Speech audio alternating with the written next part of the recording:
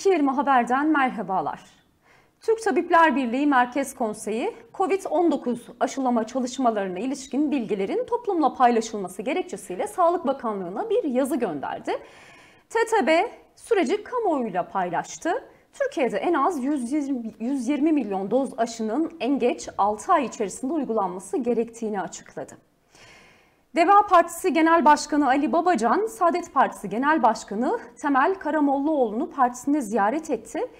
İkili birlikte basın toplantısı düzenledi. Her iki genel başkan da Cumhurbaşkanı Erdoğan'ın kapalı iş yeri yoktur sözlerini eleştirdi. Karamollaoğlu kapalı iş yeri yoktur demenin mantığını anlamakta zorlanıyorum dedi. Babacan laf üretmesinler, iş üretsinler açıklamalarında bulundu. Covid-19 salgını nedeniyle faaliyetlerine ara veren işyerlerine ilişkin bir düzenleme yapıldı.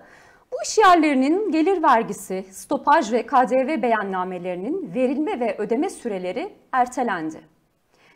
Kadına yönelik şiddet son bulmuyor. Osmaniye'nin Düzici ilçesinde eşine şiddet uygulayan erkek mahalle sakinleri tarafından darp edildi.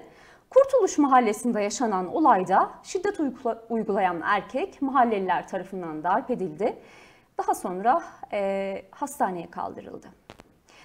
Çin'den sipariş edilen yeni tip koronavirüs aşılarının ikinci partisi de Türkiye'ye sabah saatlerinde ulaştı. İnaktif aşıların 10 milyon doz olan ikinci sevkiyatının ilk bölümünde 6,5 milyon doz aşı bulunuyor. Radyo Televizyon Üst Kurulu Başkanlığı'na bir kez daha seçilen isim Ebu Bekir Şahin oldu. Seçim sonrası konuşan Şahin, milli ve manevi değerleri korumaya devam edeceklerini söyledi. Yarın yeniden aynı saatte karşınızda olacağız. İyi günler.